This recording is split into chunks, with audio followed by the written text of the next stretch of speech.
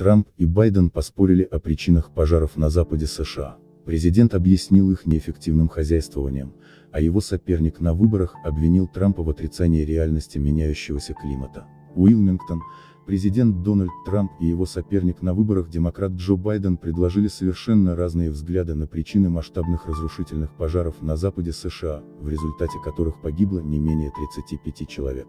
Приехав в Калифорнию, президент отмахнулся от доводов, связанных с изменениями климата как катализатора роста числа и интенсивности таких пожаров, и вновь призвал западные штаты к более эффективному управлению лесным хозяйством. Когда деревья падают, то скоро они становятся очень сухими, прямо как спички, заявил Трамп по прибытии в Калифорнию.